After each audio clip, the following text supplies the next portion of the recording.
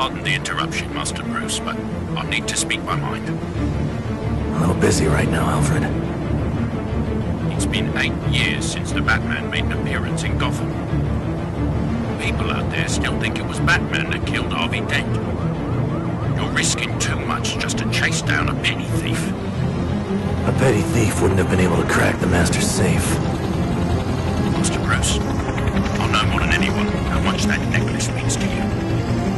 Isn't about the necklace.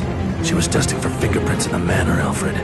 Usually it's the cops who dust for prints, not the crooks. I want to know what's going on. Looks like she's in a limo.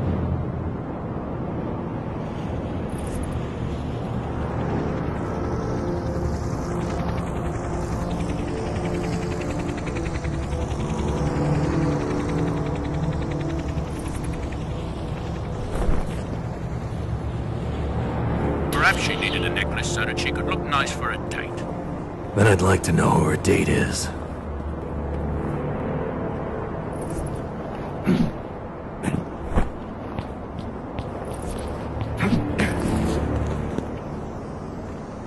Heads up. The limo is inbound. Is Selina in the back? Alfred,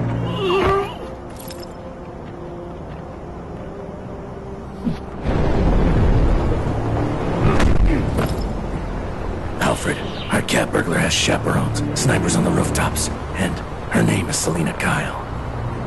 We'll see if that name comes up in his system.